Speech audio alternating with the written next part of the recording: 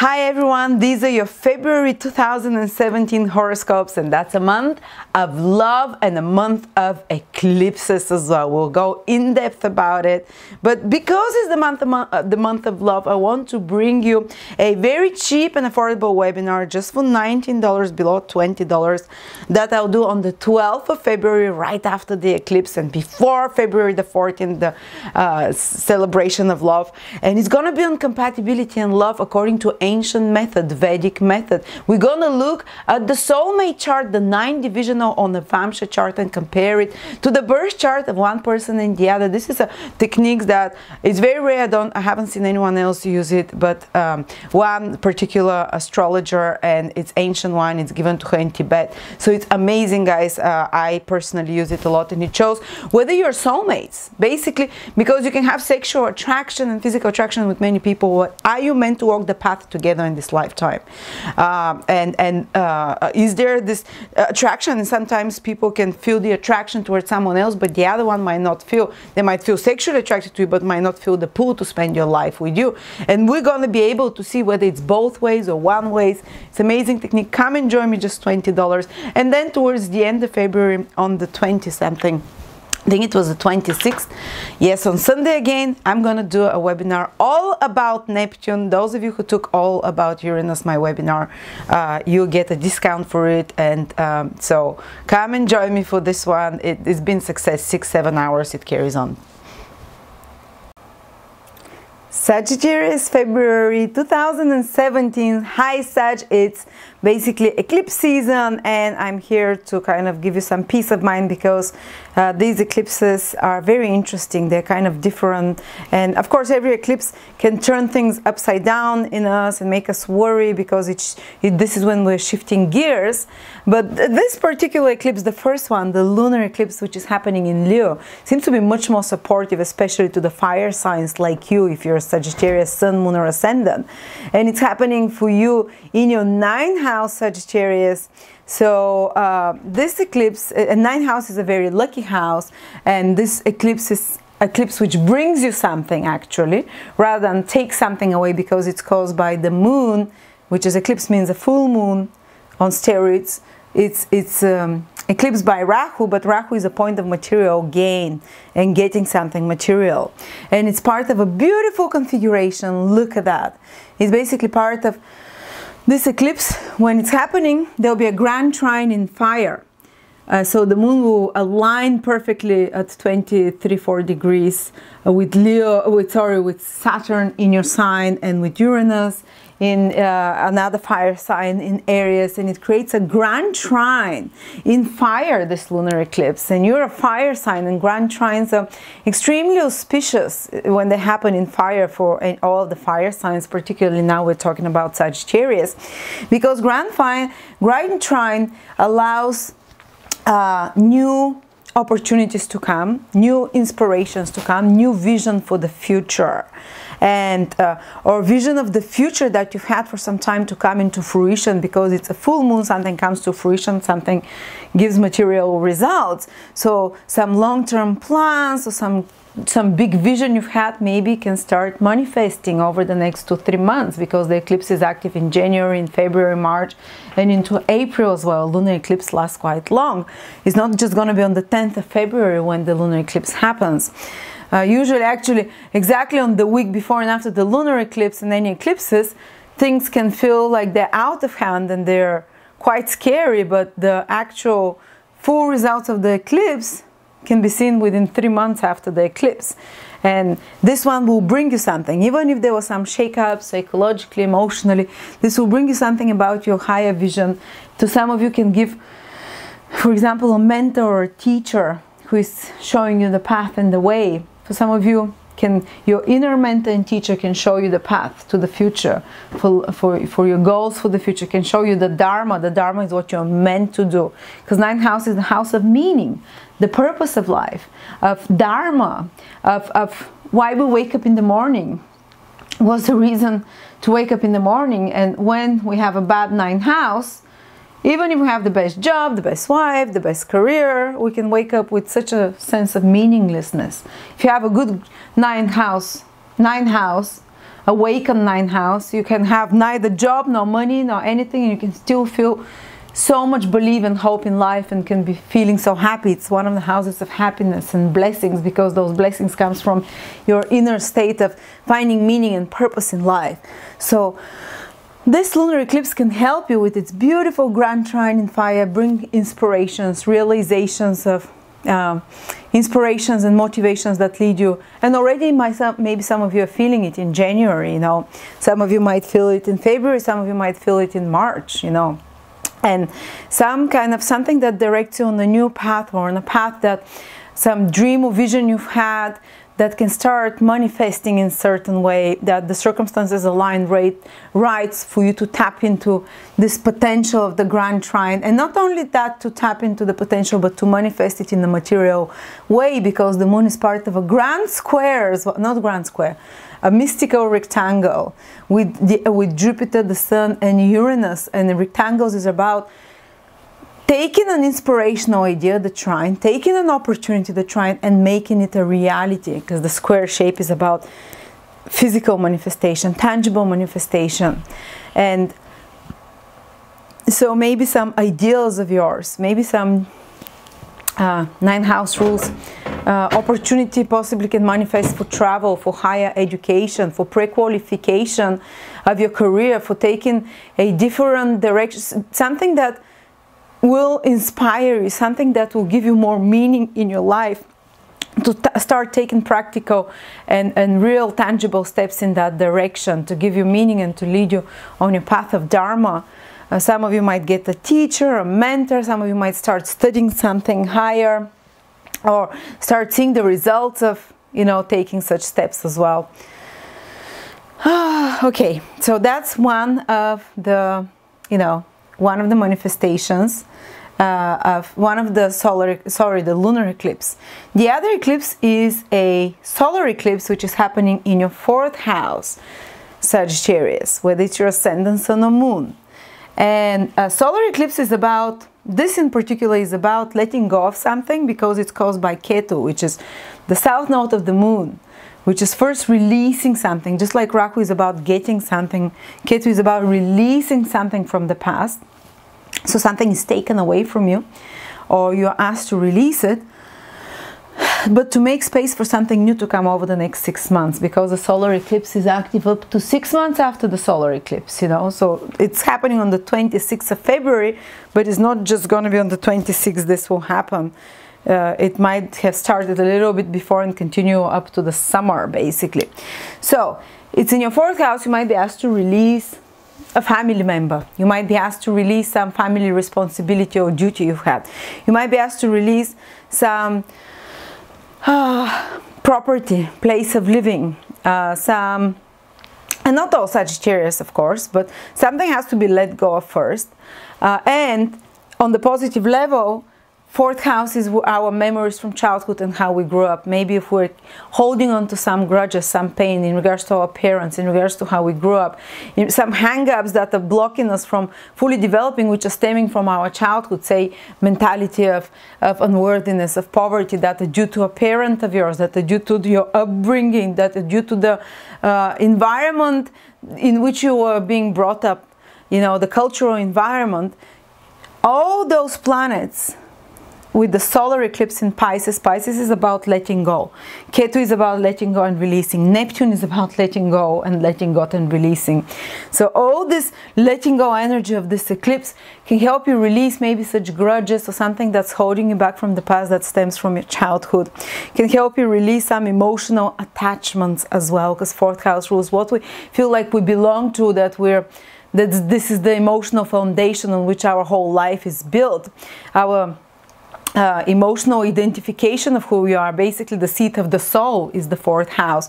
So you might there might be some release of the soul because fourth house is a moksha house house of liberation together with the 12th and the 8th and they're very hidden very emotional very unconscious houses. And when we have such a window of, of opening of releasing energies like it's going to happen in February you can release all the attachment emotionally things that that you subconsciously pre determine who you are with because because of family conditioning because of earlier conditions you know. Might be great for therapy work might be great of letting go of past memories and, and releasing certain things very powerfully you know.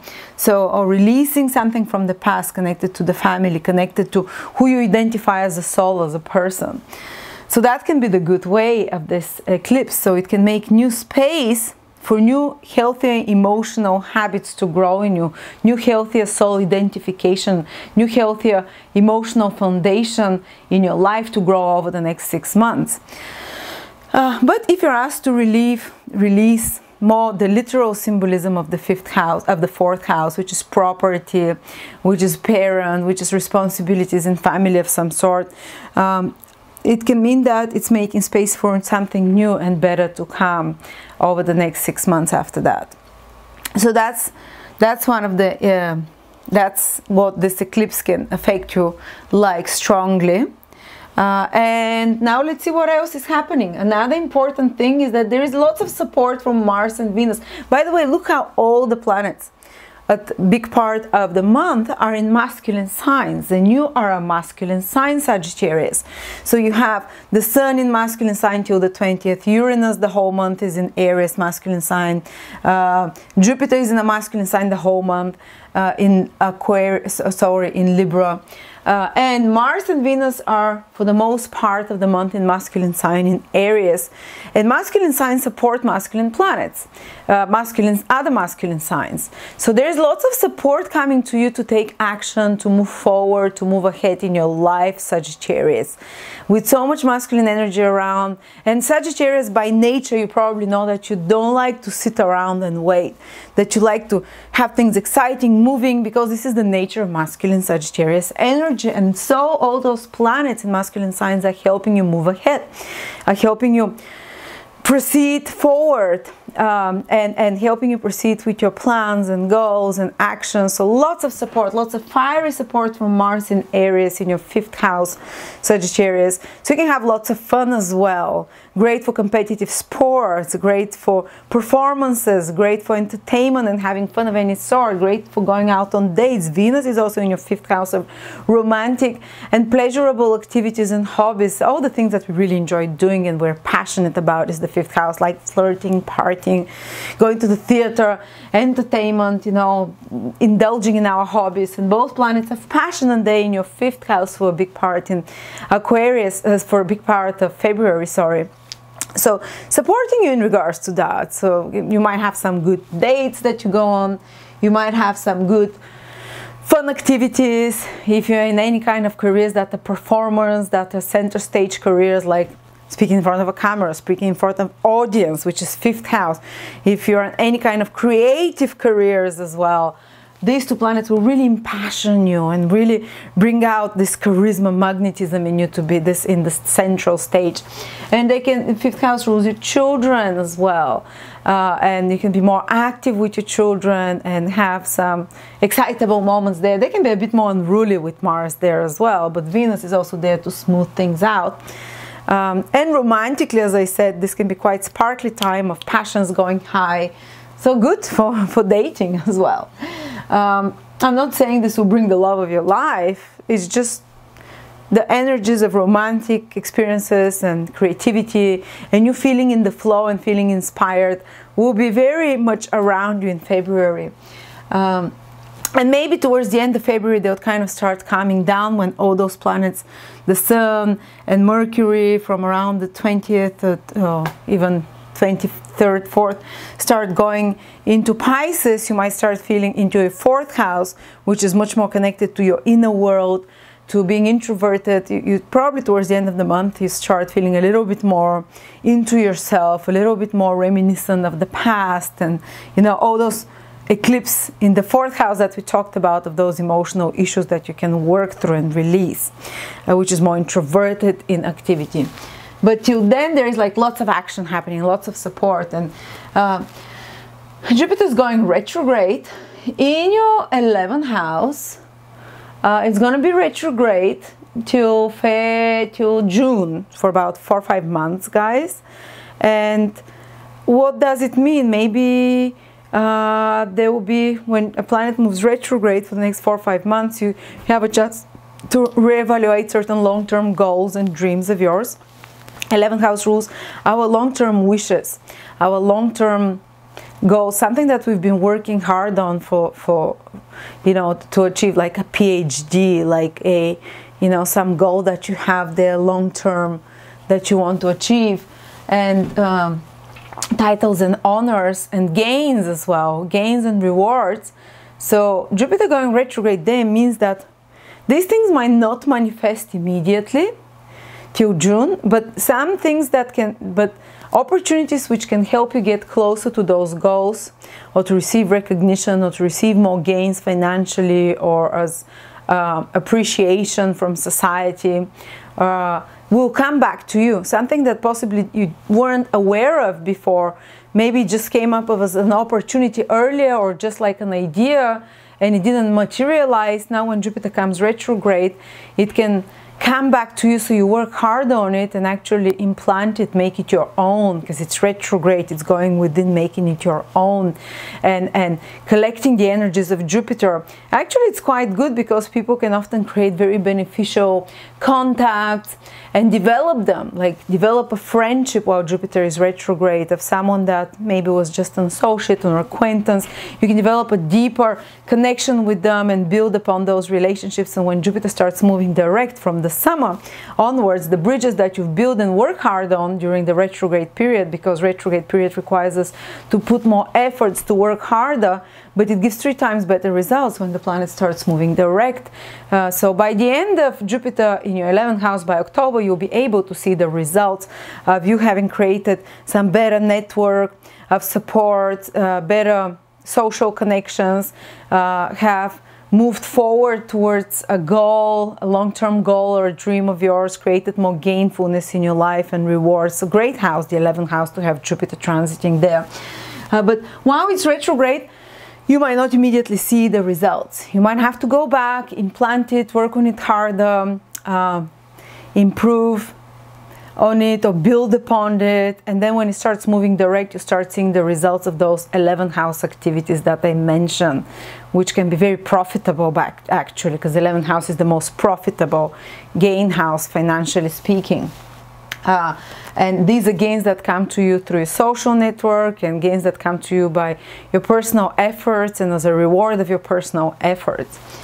Anyway and then we have Saturn We'll be moving direct from 24 to 27 degrees in Sagittarius. If you happen to have your moon from around 23 to around 27 degrees, even I would say 23, 23 to 27 degrees in Sagittarius, check out my planetary detail table to see if you have sun, moon or ascendant in Sagittarius in those degrees. Or basically, if you're born from around the 15th to the 19th of December, it means your sun is in those degrees from 24 to 27 Sagittarius and you're born around the 15th to the 19th of December but you can have the ascendant or the moon there it doesn't have to be the sun. But for the ascendant and moon we look at the degrees. Then Saturn is transiting those degrees for the first time in 29 years guys. And you're feeling it. You're, you're the only ones that are feeling this Saturn slow down but Saturn is bringing you new responsibilities and new duties, which are Saturn over the next one year, and it will repeat two more times, starting from February for those born on those dates. You can bring some harder tests to test your perseverance, to test your commitment to, to whatever it is. If it's the moon, it might be relationship, marriage, family, uh, the sun, career, path in life, the ascendant to, to see how committed you are to new beginning or to something. Basically how Saturn is a great tester. It first gives you the tests and then it gives you the lesson. But it wants to test you how committed you are to something. So Saturn only allows something to stay in your life if you work really hard for it. Say, if, if Saturn is transiting your ascendant or your moon and you're in a relationship that something starts going wrong there and you don't really have even the, desire to work on it, Saturn will remove it. Or say some new tests and challenges come in your career, in your social life, and you're not really giving 100%, Saturn will can change your career, can remove it from you, you know, uh, can block it somehow. Uh, some some some developments with male authority figures, demanding figures that can be. But if you're really dedicated about something because Saturn tests dedication and perseverance. Um, then by the end of this process, one year from now, you'd have created a much more solid foundation, like building the foundations of a building, which takes three times longer to build foundations than the rest of the building, and it stays invisible. You don't see the results of the foundation. It's like you pass by the building and you see nothing, it's foundations, but it takes much longer to build the foundations than the rest of the building. So this is what Saturn does. When it transits an important point in our horoscope, it makes you build foundations there, makes you work your ass off basically. And the best thing to approach is serious attitude and by the way if you're going to be having Saturn transit check out my video how to overcome difficult Saturn transits which is with me and Diana an astrologer she tells you hacks life hacks on how to deal because it can be emotionally very heavy and you can people can get depressed and people can feel like there's no end to it. Saturn is the planet of burden and labor and carrying a burden and labor. But just like a pregnancy when you carry it through the end it might feel burdensome but it gives birth to something amazing you know if you so you know anyway it requires serious approach it can slow things down. It requires extra duties and responsibilities that you take, and that's why we get very grumpy when Saturn is around and resentful because when we're given twice as much work or responsibilities about something we don't want to take or we have to grow up, what do we do? Everyone is a child still within. What do we do? We throw a tantrum. And that's why Saturn transits can be very painful if we don't want to take new responsibilities because we take we throw tantrums. But if you're naturally more mature, a serious person who is okay to feel restricted and work harder for a while, for maybe a year, then Saturn is a blessing, you know. anyway, thank you so much, Sagittarius, and I will see you next month. Hope you enjoyed that video. Come and join me for the love webinar uh, on soulmates and come and join me for the Neptune, all about Neptune webinar, because many, many Sagittarians are having Neptune transits for the next 10 years more, you know, till 2025. And Neptune can really change life. Anyway, thank you.